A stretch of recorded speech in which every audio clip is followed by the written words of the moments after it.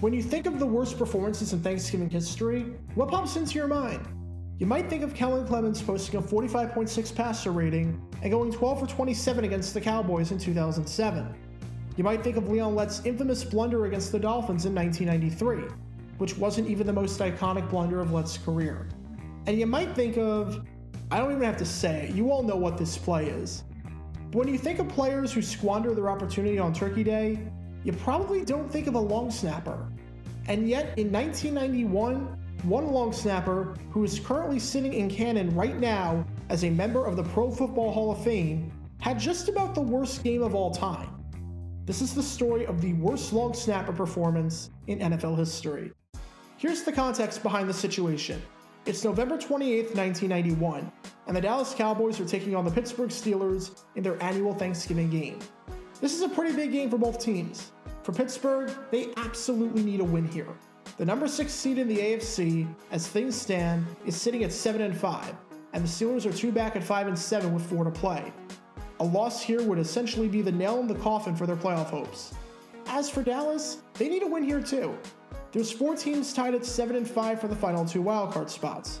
So if Dallas wants to make it to the postseason for the first time under Jimmy Johnson and the first time since 1985, then a win here would go a long way.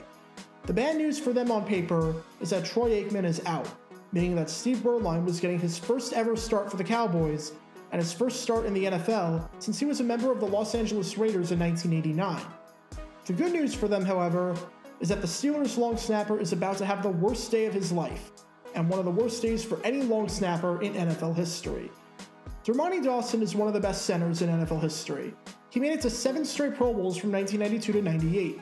He was an anchor on Pittsburgh's offensive line in the 1990s and was named the first team center on the All 1990s team. And not only has he received praise from coaching legends like Bill Cowher and Bill Belichick, but he is a member of the Pro Football Hall of Fame. But as a long snapper, yeah, not so much. He doubled up as both during this season, which you don't see too often nowadays. And on this Thanksgiving Day, at long snapper, he struggled mightily. On Pittsburgh's second drive of the game, he delivered a high snap to Dan Stryzinski. Maybe you can argue that Stryzinski should have held on to it, but he had to move laterally and jump, so that is a bit harsh on the punter. It's a bad snap by Dawson. Fast forward to the second quarter, and Stryzinski is back to punt yet again. And once again, the snap is atrocious. Whereas maybe you could give Dawson the benefit of the doubt on the first snap, there is no way on this snap that Stryzinski is at fault here. Twice in the first half, Dawson cost the Steelers costly field position with awful snaps. The Cowboys scored on that drive as well. You know it's not good when the broadcast has multiple extended camera shots on the long snapper.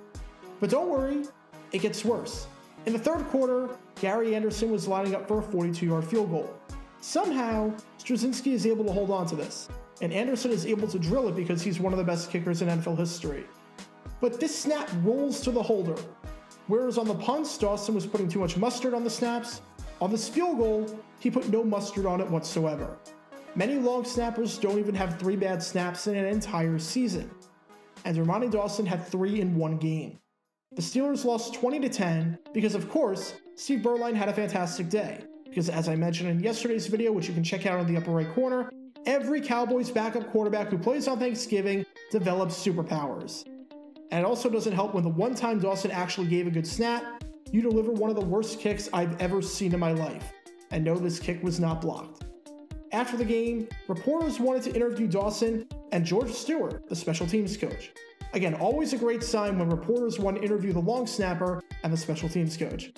Dawson said on his performance, well, nothing. He left the stadium before the reporters arrived. When Stewart was asked a question about Dawson's poor play, Stewart said, Go ask Dawson. After reporters informed him that Dawson left, Stewart did the natural thing, which was to tell the reporters to get away from him while yelling expletives and threatening a reporter if they quoted him in the paper. Spoiler alert, judging by the article you're seeing on your screen right now, they quoted him in the paper. You know your performance is bad when the special teams coach is not only calling you out, but is out there threatening reporters. In 1992, the Steelers drafted a long snapper. Dawson would just stay at center, which safe to say worked out pretty well for him, as Dawson is one of the best centers of all time. But as for his long snapping ability, after this debacle on Thanksgiving, the less said, the better. Be sure to like this video, ring the notification bell, and subscribe down below if you haven't already, as it helps the channel out a lot. And be sure to check out Twitch every Tuesday night at 9 p.m. Eastern for your chance to play NFL trivia and win cash prizes. Link in the description below. If you want to see videos like this condensed down to 60 seconds, then follow me on TikTok at JaguarGator9 and subscribe to 60 Second NFL History on YouTube. Also, special thanks to all of our Patreon supporters for helping the channel. Your support is greatly appreciated. So you can become a patron and request future video topics in the description below.